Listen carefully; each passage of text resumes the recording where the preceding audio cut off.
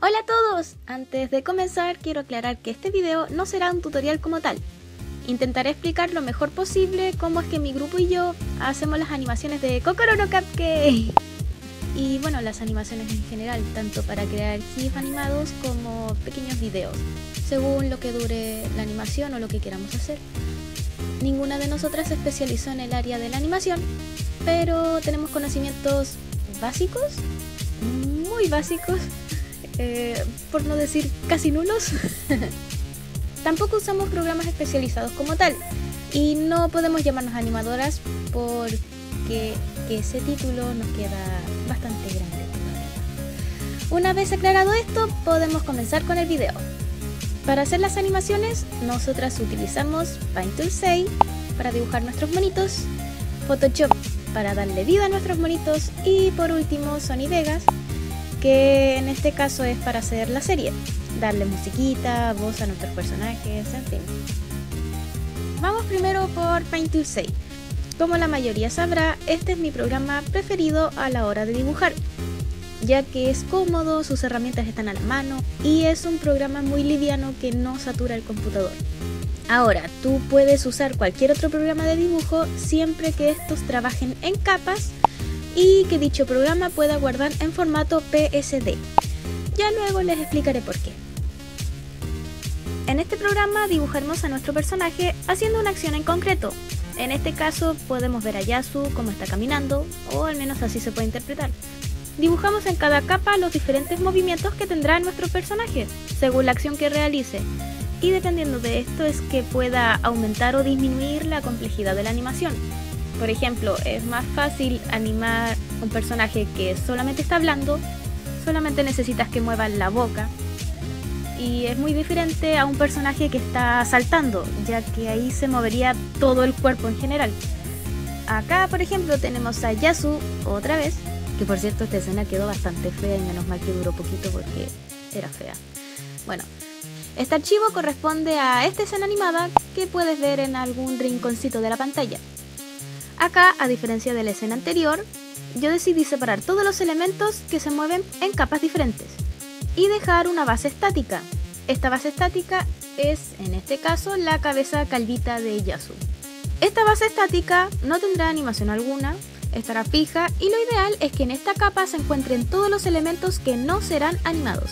Una vez tenemos claro esto, pasamos a los elementos que se mueven, en este caso el cabello de nuestra monita. Aquí mismo lo estamos viendo. Para que el cabello del personaje se mueva de forma decente, mínimo necesitamos cuatro fotogramas. Y conste que digo mínimo porque acá en la animación ya hecha, ya terminada, pueden apreciar que aún así le faltan fotogramas para que el cabello se vea un poquito más fluido. Pero con cuatro fotogramas como mínimo ya puede verse algo decente, más o menos. Bueno, nuevamente en capas diferentes es donde hago los ojos del personaje también en capas apartes es donde agrego los brillitos de los ojos. Con dos capas de brillitos de ojos que sean de diferentes tamaños ya puedes lograr un efecto como de ojos brillosos, supongo. Por último, la boca del personaje, que al final decidí no animarle la boca, pero básicamente para hacer hablar a un personaje de manera decente, necesitas eh, llevarle un curso de lenguaje, ¿no? Necesitas a lo menos cuatro capas o cuatro fotogramas. La boquita cerrada, la boquita entreabierta, la boquita en forma de círculo y por último quizás una sonrisita o algo así. Y allí los vas intercalando según lo que diga el personaje. Una vez tengamos todo esto hecho, pasamos a Photoshop. Y antes de que pasemos de plano a Photoshop, Primero recomendaré dos cositas. La primera, la más importante, si es que quieres llegar a hacer una animación y usar este método, es que si vas a hacer cualquier tipo de animación y no estás seguro de que quede bien o que quede fluido, te recomiendo hacer todo, todo, todo, todo, todo en forma de boceto. Sin pintar, sin hacer liner, no, no, no, no, solo boceto. Pasarlo a Photoshop y allí mismo verificar si la animación te queda fluida. Una vez veas esto ya puedes hacerle un acabado más profesional a tus fotogramas. Antes te recomiendo que no, porque si lo haces y resulta que te equivocaste, habrás perdido mucho tiempo en vano y tus dibujos no servirán para lo que quieres. La segunda recomendación es que guardes todas tus animaciones en PSD. ¿Qué es PSD? Pues es el archivo que guarda y abre por defecto el Photoshop, sea cual sea su versión. De esta forma podemos editar nuestro archivo tanto en Photoshop como en Paint Tool 6 sin que las capas se combine o se pierda información en la mesa de trabajo. Y ahora sí podemos pasar al segundo paso, el Photoshop. En este programa, como decía antes, es donde le daremos vida a nuestro personaje. Si aún no tienes Photoshop instalado, te recomiendo buscar la suite del CS5 en adelante. Más antiguos no, ya que, por lo menos a mí como experiencia personal, Photoshop del CS4 hacia abajo tiene ciertos problemitas a la hora de renderizar un video. Sí señores, Photoshop también puede renderizar videos y te lo voy a enseñar aquí mismo en este video. Pero bueno, si tú tienes una suite inferior al CS5 y todo te resulta bien, pues bien, no tienes que hacer nada más. Espero que tengas más suerte que yo. Abrimos Photoshop y en él abrimos nuestra mesa de trabajo con las animaciones capa por capa. Y en este cuadro es donde animaremos dichas capas. Si no te sale este cuadro de aquí abajito, bastará que vayas a ventana, animación y se te abre este cuadrito de aquí. Y si de casualidad te sale de forma diferente, bastará que apretes este iconito de aquí. Y listo. Cada capa que creemos acá abajo será un fotograma que se mostrará en nuestra animación. Cada fotograma cuenta con un tiempo de duración este tiempo lo puedes estimar tú mismo según la acción que quieras que realice tu personaje. Eh, yo por lo general siempre uso el 0,2 segundos, esto es lo que se demora en pasar de un fotograma a otro. A veces pongo más tiempo, a veces pongo menos, dependiendo de, lo que dure la escena o lo que quiera lograr.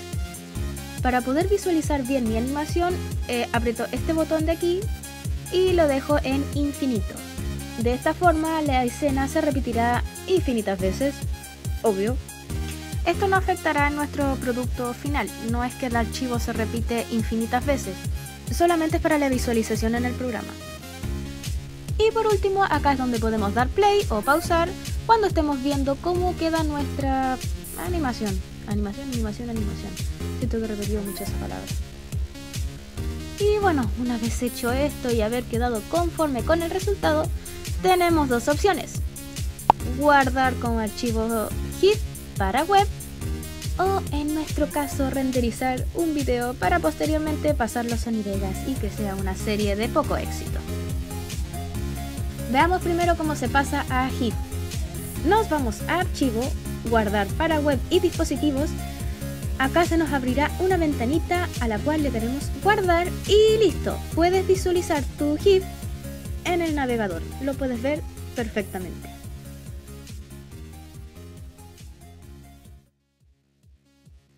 Ahora vemos cómo renderizar un video en Photoshop. Utilizando el mismo archivo sin más, nos vamos a editar, exportamos el archivo y le damos a interpretar video. Acá tengo que advertir que si tu PC ya de por sí es lento y no tiene memoria suficiente, puede que tu PC demore mucho en renderizar o que incluso simplemente no lo haga. Así que te recomiendo dejar solamente Photoshop abierto, cerrar todo lo demás y ver si efectivamente se puede renderizar o no. Y bueno, se te tiene que abrir una ventanita así, como la que estás viendo en pantalla. Puede que a ustedes les aparezca de manera diferente dependiendo del Photoshop que tengan. Si tú tienes el Photoshop CS5 como yo, te debería salir tal cual como estás viendo en pantalla. Si no, no te preocupes, solo fíjate que el archivo que exportes te quede guardado como video en formato MP4 o también puedes guardarlo como QuickTime que si no me equivoco te queda más bien en archivo AVI. La verdad es que queda bastante bien en este formato, queda muy bien de hecho. El problema es que resulta ser muy, muy, muy pesado y aparte tienes que descargarte el QuickTime. Así que formato MP4 o el que estás viendo en pantalla estará bien, justo y preciso. Y le damos a interpretar. Como ven mi PC no se demora mucho en esto, pero puede que el tuyo se demore mucho más. Ojalá que no, eso sería lo ideal. Y bueno, una vez termina, vemos cómo queda y ya está. Tenemos un video.